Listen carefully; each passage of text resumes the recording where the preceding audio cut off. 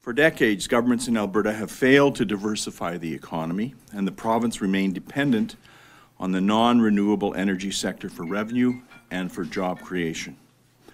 Our government is determined to do better.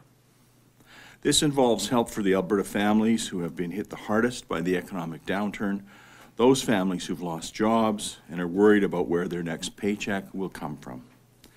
The economic downturn hurting all of Canada reminds us of the critical necessity to diversify our economy so that we are less vulnerable to commodity prices that we don't control.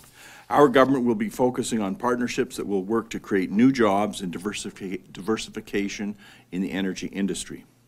We will also promote value-added enterprise and are going to forge ahead on energy infrastructure that will enable us to access new markets. Getting a pipeline to Tidewater has been a focus of our government since our first day, and it's a priority that we will continue to pursue with focus and determination.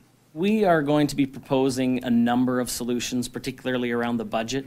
Uh, we've seen uh, Mr. Jean speak in the press in the last number of days. Uh, one thing I can assure you, while the government likes to continue to talk about how we would like to cut frontline nurses and doctors and uh, cause destruction right across the province, nothing could be further than the truth.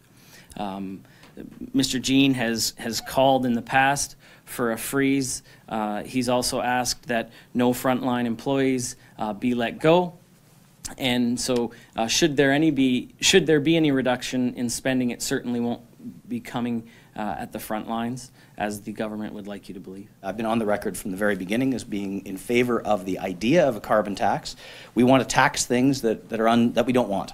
We don't want carbon emissions. We also want to create uh, an economic frame where innovation can happen to avoid the costs of emitting carbon. That's a good thing.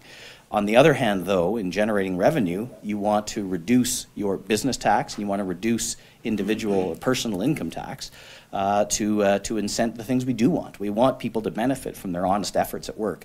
We want to create a very attractive investment climate in Alberta. Uh, those two things go hand in hand. Uh, what I've seen so far is not in any way a, a revenue neutral carbon tax. Our plan is a truly revenue neutral carbon tax.